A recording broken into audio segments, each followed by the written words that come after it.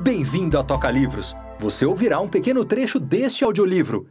Antes de continuar, inscreva-se no canal, comente e deixe sua avaliação. Desejamos uma boa leitura. A filosofia de meu avô, Napoleon Hill, permeia tudo que eu faço como mulher, esposa e mãe. Estou encantada por Sharon Letter ter trazido a público Pense e Enriqueça para Mulheres, um livro que pode ajudar todas as mulheres a atingir o sucesso em qualquer coisa que aspirem. Havia livros de Napoleon Hill espalhados por nossa casa muito antes de eu ir para a faculdade. Formei-me em farmácia e química e me tornei uma farmacêutica registrada. Em poucos anos, me vi muito ocupada com quatro filhos. Decidi que criar meus meninos seria minha profissão principal. Nos 20 anos seguintes, adaptei os princípios do sucesso de Napoleon Hill para ter um auxílio na formação do caráter de meus filhos e, ao mesmo tempo, dar a eles as ferramentas necessárias para serem bem-sucedidos na vida, inclusive estabelecendo metas para que eles nunca ficassem sem um objetivo. Meus filhos reagiram bem a essa abordagem e todos foram bem-sucedidos. Três deles são médicos e o outro é um funcionário de primeiro escalão numa empresa. Uma vez, meu irmão James Blair Hill me disse que achava que o livro era uma chave para tudo: segurança financeira, relacionamentos pessoais e felicidade, e que podia ser usado para se obter qualquer coisa de valor. A família Hill fez bom uso do legado de Napoleon Hill. Eu sei que toda mulher que ler Pense e Enriqueça para Mulheres vai obter insight que ajudará em muitos aspectos da vida de uma mulher, seja dentro ou fora de casa. Terry Hill Gok, neta de Napoleon Hill. Introdução. E então, por que escrever Pense e Enriqueça para mulheres? As regras do sucesso são as mesmas para todos. Por que mexer com o brilhantismo do livro original de Napoleon Hill, Pense e Enriqueça? Por que escrever algo especial apenas para as mulheres?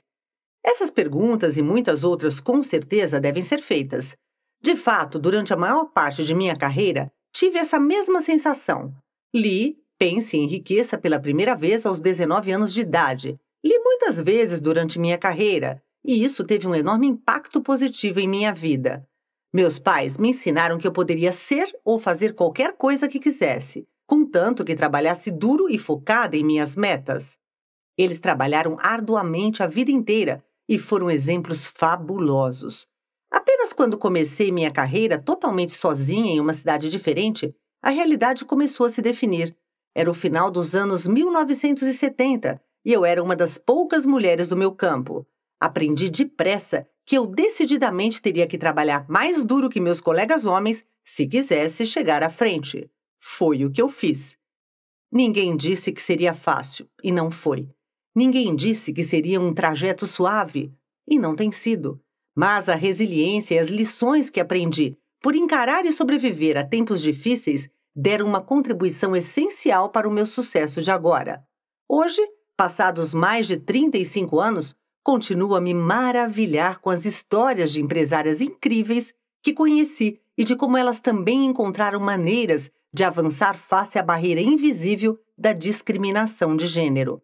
Muitas delas tinham lido e seguido os ensinamentos de pense e enriqueça, e criado grande sucesso em suas vidas, mas foram ainda mais longe.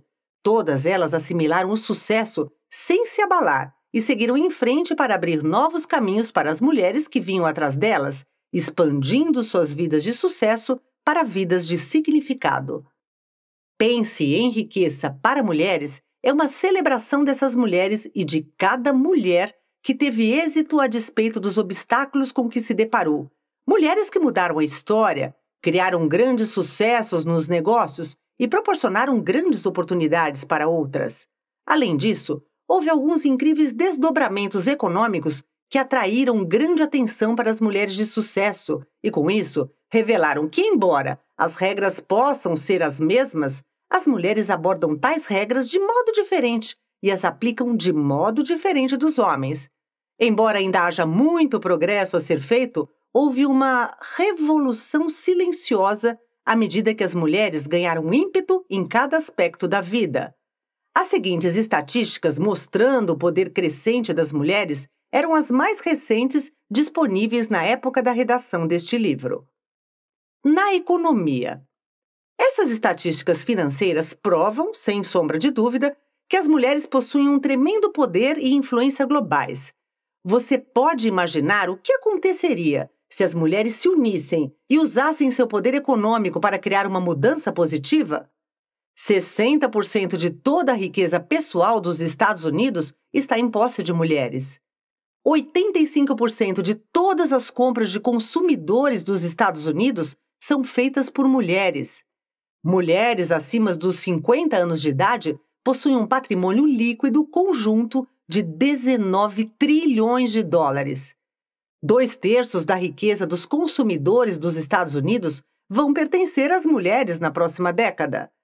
As mulheres dos Estados Unidos gastam 7 trilhões de dólares em despesas domésticas e profissionais. Em termos globais, as mulheres são responsáveis por 20 trilhões de dólares dos gastos, e era esperado que este número subisse para 24 trilhões no final de 2014. Em termos globais, as mulheres estão habilitadas a herdar 70% dos 41 trilhões de dólares em transferência de riqueza entre gerações projetados para os próximos 40 anos. Na educação, o Departamento de Educação dos Estados Unidos estimou que em 2013 as mulheres obtiveram 61,6% de todos os diplomas associados, 56,7% de todos os diplomas de bacharelado, 59,9% de todos os diplomas de mestrado, 51,6% de todos os diplomas de doutorado. Para resumir, em 2013, 140 mulheres obtiveram um diploma universitário de algum nível para cada 100 homens. No mundo corporativo, embora tenha havido um tremendo progresso nos níveis inferiores de gestão, ainda existe uma grande necessidade de que as mulheres avancem os níveis superiores de liderança nas corporações, o que é uma evidência de que a barreira da discriminação de gênero ainda precisa ser rompida. Existem 23 mulheres, 4,6%, no cargo de CEO das companhias Fortune 500. As mulheres detêm 14,6% dos cargos executivos. De acordo com um relatório do Catalyst intitulado Resultado Final: Desempenho Corporativo e Representação Feminina nos Conselhos, as companhias Fortune 500 com maior representação feminina nos conselhos de administração atingiram desempenho financeiro significativamente superior, na média, que aquelas com menor presença feminina no conselho de administração. Além disso, o relatório destaca que os conselhos de administração com três ou mais mulheres mostram desempenho notadamente acima da média. Eles compartilharam três indicadores essenciais: Rentabilidade do capital, em média, companhias com percentuais maiores de mulheres no conselho de administração superaram aquelas com índices menores em 53%. Rentabilidade nas vendas, em média, companhias com percentuais maiores de mulheres no conselho de administração superaram aquelas com índices menores em 42%. Rentabilidade do capital investido, em média, companhias com percentuais maiores de mulheres no conselho de administração superaram aquelas com índices menores em 66%. As mulheres detêm 16,9% das cadeiras dos conselhos nos Estados Unidos, contra 40,9% na Noruega e 6% na Ásia. É importante observar que a Noruega aprovou uma lei em 2003 exigindo que as companhias nomeiem mulheres para 40% dos cargos nos conselhos. Um estudo de companhias do MSCIAC, um indicador projetado para medir o desempenho do mercado de ações em 24 países, verificou que companhias com conselhos mistos superaram aquelas com conselhos só de homens em 26% ao longo de seis anos. Nos rendimentos, Embora as estatísticas no geral ainda sejam perturbadoras, quando você examina os detalhes, surge uma tendência positiva. As mulheres recebem, em média, 77 centavos para cada dólar ganho pelos homens. Em 1979, recebiam 59 centavos.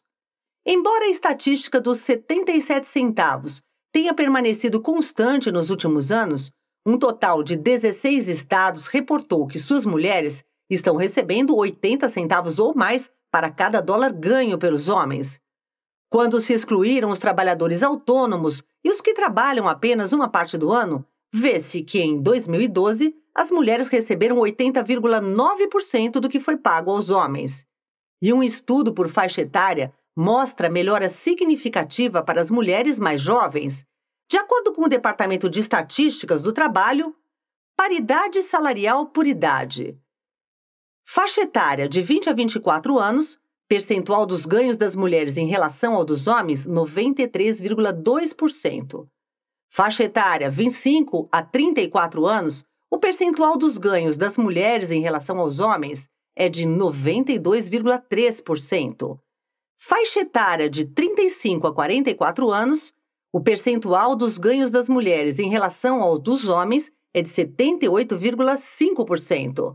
Faixa etária de 45 a 54 anos, o percentual dos ganhos das mulheres em relação aos dos homens é de 76%. Faixa etária de 55 a 64 anos, o percentual dos ganhos das mulheres em relação aos dos homens é de 75,1%, e faixa etária de 65 anos ou mais, o percentual dos ganhos das mulheres em relação aos dos homens é de 80,9%. Em termos globais, o vencimento médio dos homens em turno integral foi 17,6% maior que o das mulheres nos países em desenvolvimento. A maior disparidade salarial por gênero foi na Coreia e no Japão. Em termos globais, de acordo com um estudo da Deloitte, o poder aquisitivo das mulheres está crescendo mais rápido que o dos homens nos países em desenvolvimento. A renda das mulheres aumentou em 8,1% contra 5,8% dos homens. Na propriedade de empresas, mais e mais mulheres estão abandonando o mundo corporativo em favor do empreendedorismo e, com isso, driblando totalmente o impacto da barreira invisível da discriminação de gênero. O Relatório sobre a Situação dos Negócios de Propriedade de Mulheres, de 2013, encomendado pelo American Express Open, revela: entre 1997 e 2013, o número de firmas de propriedade de mulheres cresceu uma vez e meia acima da média nacional. O número de firmas de propriedade de mulheres e de propriedade igualmente dividida é de quase 13,6 milhões, e estas geram mais de 2,7 trilhões de dólares em receitas, empregam quase 15,9 milhões de pessoas, representam 46% das firmas dos Estados Unidos e contribuem com 13% do emprego total e 8% da receita das empresas. Na política. As mulheres estão entrando na política mais do que nunca. Entretanto, as estatísticas a seguir mostram que ainda existe um longo caminho a percorrer para se chegar à paridade com lideranças políticas do sexo masculino. Em termos globais, existem 32 mulheres líderes de países ou territórios autônomos, nos Estados Unidos, as mulheres detêm 20% das cadeiras no Senado, 17,9% das cadeiras na Câmara dos Deputados, 23,4% dos cargos eletivos estaduais. À medida que as mulheres percebem seu poder econômico e começam a alavancá-lo, essas estatísticas continuam a melhorar. Ao abordar essa mudança global no Fórum Econômico Mundial, a diretora executiva do Fundo Monetário Internacional, Christiane Lagarde, falou sobre o poder do que denominou crescimento inclusivo. Ela declarou: a evidência é clara, assim como a mensagem. Quando as mulheres têm melhor resultado, a economia tem melhor resultado. Enquanto olho para essas estatísticas e aplaudo o progresso que as mulheres fizeram e estão fazendo, percebo que muitas outras mulheres ainda reagem a isso com raiva. Ainda existe progresso a ser feito? Claro que sim! Com certeza, o fato de que a barreira invisível da discriminação de gênero ainda refreia o número de mulheres em cargos executivos principais e nas salas de reunião das diretorias de empresas, bem como o fato de que ainda existe uma formidável disparidade salarial entre homens e mulheres, continuam a desafiar as mulheres que lutam para se sobressair no mundo corporativo. Porém, em vez de enfocar os resultados negativos, vamos reconhecer os feitos positivos das mulheres líderes em negócios, tanto como lideranças corporativas quanto empresárias, na política e na educação atuais. E vamos celebrar essas mulheres, celebrá-las pela coragem, pelo sucesso e a liderança. E vamos então nos reunir como mulheres para proporcionar orientação às mais jovens e dizer que elas podem ser qualquer coisa ou quem quiserem ser, contanto que trabalhem duro e foquem em suas metas. As mulheres devem ajudar as outras mulheres a ter êxito.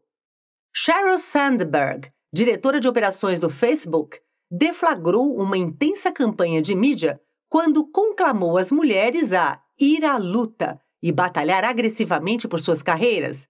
Em seu livro Leonin, Women, Work and the Will to Lead, lançado em 2013, ela encoraja as mulheres a adotarem características tradicionalmente masculinas, como trabalhar em longas jornadas, reivindicar o crédito pelo desempenho e falar sem rodeios. Muitos de seus críticos reagiram dizendo que ela é uma elitista sem contato com as trabalhadoras de classe média, que não podem pagar babás caras, enquanto outros a criticaram por enfocar questões internas que as mulheres enfrentam, em vez dos temas externos da igualdade salarial e de oportunidade e de condenar as atuais diretorias executivas e conselhos de administração dominados por homens por não convidar mais mulheres para participarem. Ambas as posições têm argumentos válidos. Em vez de criticarem uma outra, está na hora de unirem forças em benefício de todas as mulheres. Alguns comentários de Cheryl sobre as mulheres, suas lutas e como vencê-las soaram muito verdadeiros para mim e gostaria de compartilhá-los. Durante toda a minha vida, me falaram sem parar sobre as desigualdades no trabalho e como seria difícil ter uma carreira e uma família. Raramente ouvi alguma coisa sobre as formas pelas quais eu mesma poderia me sabotar. Não puxe o freio, acelere, mantenha o pé no acelerador. Quanto mais gente, mulheres, entrarem na corrida, mais recordes serão quebrados, mais liderança feminina levará ao tratamento mais justo de todas as mulheres. Ao ler o livro, vi Cheryl compartilhando sua trilha de sucesso como mulher e as decisões que ela tomou ao longo do caminho, na esperança de proporcionar inspiração a outras mulheres.